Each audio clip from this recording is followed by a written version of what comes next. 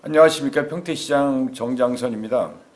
저는 오늘 미군기지 주변에 설정된 건축물 고도 제한으로 큰 희생을 치르고 있는 주민들의 어려운 상황을 알리고 나아가 우리 정부와 공군 그리고 주한미군의 고도 제한 완화를 호소하기 위해 이 자리에 섰습니다.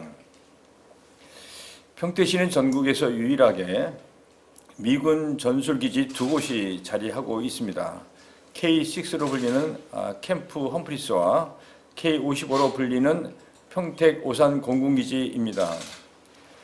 이들 미군기지는 한국 전쟁 중 건설되어 우리 국방과 안보의 아, 중추적인 역할을 담당하고 있습니다. 이에 따라 평택은 아, 대한민국 안보 중심 도시로 자리매김했고 이는 우리의 큰 자부심입니다. 평택은 지금 많은 발전을 하고 있습니다. 삼성전자와 카이스트 유치, 그리고 국제 고덕 신도시와 브레인시티 조성, SRT 등 각종 교통망 확충, 수많은 사회 경제 인프라 마련으로 평택시는 100만 특례시까지 내다보고 있습니다. 하지만 평택시는 아, 신도시와 구도시 간의 불균형 문제를 안고 살아가고 있습니다. 이 도심 간 어, 불균형 문제는 아, 평택시의 가장 큰 현안이며 이대로 나아가면 아, 심각한 지역 갈등으로 심화될 수 있는 안타까운 상황입니다. 미군기지 인근 구도심의 경우 평택이 발전하는 동안 최소한의 변화 없이 아, 피해만 떠하는 채 살아가고 있습니다. 비행기 소음으로 육체적 정신, 적 손해가 발생하고 건축물 고도 제한으로 재산상 불이익이 발생하고 있습니다. 항공기 소음은 아, 미군 기지가 이전되지 않는 한 실질적으로 해결이 불가능하지만 고도 제한과 관련해서는 일부 해결책이 아, 모색됐습니다. 시에서 추진한 연구 용역 결과 고도 제한이 일부 완화될 수 있다고 전문가들은 내다봤습니다. 용역 결과에 따라 평택시는 법에서 정한 행정 절차를 밟아가고 있습니다. 행정 절차가 순차적으로 이루어져 고도 제한을 일부라도 완화하기 위해서는 우리 공군과 미군의 협력이 절실한 상황입니다.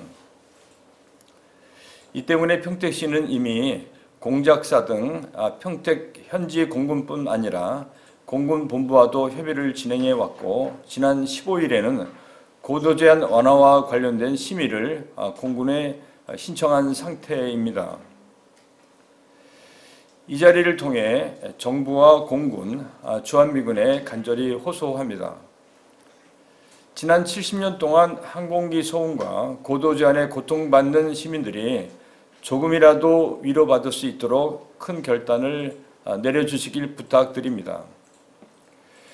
최소한의 범위에서라도 고도 제한 완화 결정을 내려주길 호소합니다. 2010년에도 평택시 용역 결과에 따라 고도 제한 완화를 위한 움직임이 있었습니다. 하지만 결국 그때도 어, 미군기지 인근 주민들이 영원히 이루어지지 못했습니다.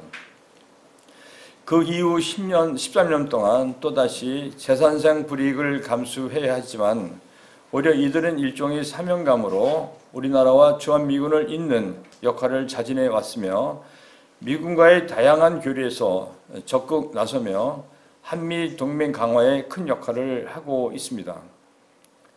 이번만큼은 우리 공군과 미군이 우리 주민이 간절한 호소를 들어주시어 70년 동안 이루어진 주민, 주민 피해의 악순환이 조금, 조금이나마 해소되기를 기대합니다. 우리 공군과 주한미군이 긍정적인, 어, 긍정적인 검토를 어, 다시 한번 간곡히 호소드립니다. 감사합니다.